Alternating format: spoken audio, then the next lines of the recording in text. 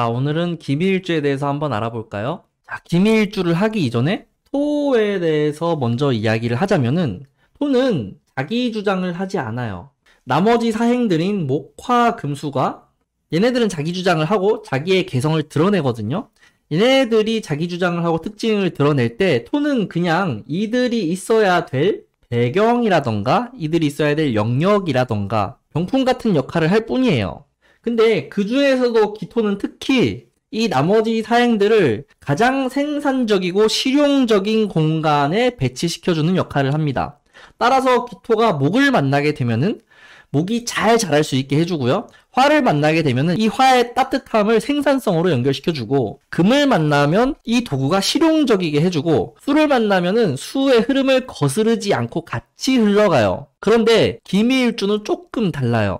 김일, 김일주는 먼저 자신을 적극적으로 드러내려고 합니다. 원래 기토는 자기 자신을 드러내지 않고 나머지 사행이 주장하는 것에 자기를 동참시켜요. 카멜레온 같죠? 그래서 기토는 원래 평화주의자예요. 누가 이렇게 싸우고 있으면은 어느 한편의 편을 들어서 같이 싸우지 않아요. 오히려 뜯어 말리고요. 그 사람들의 의견을 서로 존중해줘요. 근데 기미일주는 기토가 강해졌죠. 미를 지지에 깔고 있음으로써 토가 강해졌습니다. 그래서 이러한 성향이 좀 떨어진다는 소리예요. 자기 자신을 적극적으로 드러내고요. 이런 나머지 사행이 움직이는 것에 적극적인 개입을 해요. 이런 부분들이 이제 자기를 드러낸 성향으로 연결되고요. 그러다 보니까 잔소리도 많고 자랑도 잘하고 뭐 이러는 게 기밀주라고 보시면 될 것 같아요.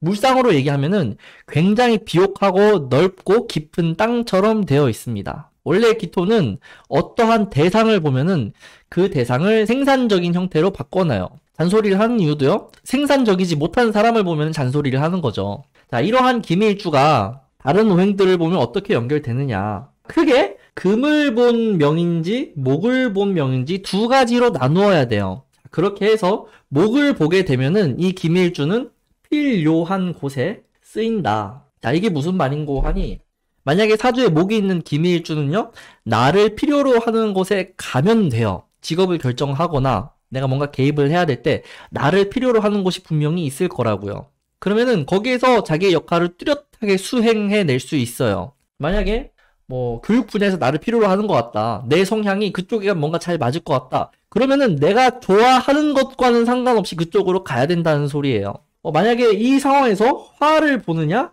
수를 보느냐에 따라서 또 갈리게 되겠죠. 만약에 수를 보게 되면은 이건 우리가 얘기하는 재생관이 되는데 이렇게 되어 있으면은 성공지향적인 삶을 살게 돼요. 고위직으로 올라가려고 하고요. 만약에 교육 쪽에서 일을 한다고 하더라도 교장 선생님이 되어야 되는 사람이죠. 적극적으로 나의 위치를 올리려고 하는 게 수생목이 된 김일주입니다. 반면에 어, 목생화가 된 김일주는요, 그냥 평생을 편, 평교사로 있는 거예요. 평교사로 있으면서 목이라고 하는 아이들을 길러내는 역할을 하게 되죠. 물론, 그, 양육을 하는 개념이 아니라요, 뭐, 교육적인 것, 인성적인 것을 주입을 해서 그 사람을 사람, 어, 인성적 가치가 훌륭한 사람으로 만들어내는 거죠. 그래서 만약에 김일주의 목이 강하고 금이 없다 이러면은 좋아하는 일을 하기에는 어렵다라고 얘기할 수 있습니다. 필요한 곳에 가야 되는 거고요. 타고난 재능을 발휘하면서 잘하는 것을 하면서 살아야 되는 거예요.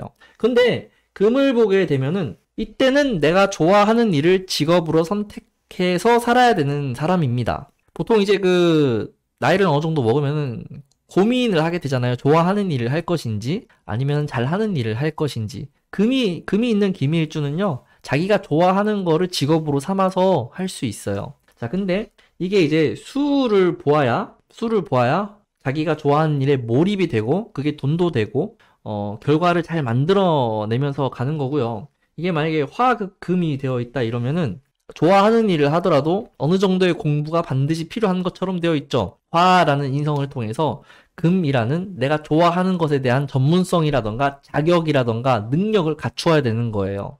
그래서 김일주를 볼 때는 금이 있느냐 목이 있느냐 대분류를 하셔서 해석을 하는 게 맞습니다.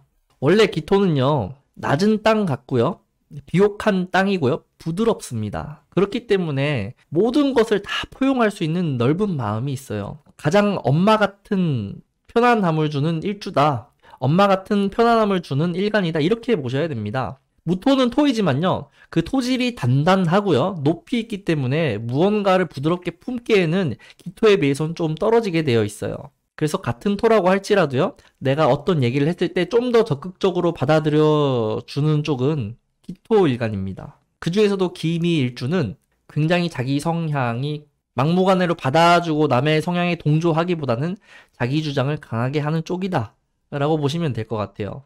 자기 인생에서 주체성을 자기한테 둘 수 있는 기토들 중에 하나다. 이렇게 보시면 됩니다. 자, 다음 일주를 뽑아야겠죠? 자, 다음 일주는요.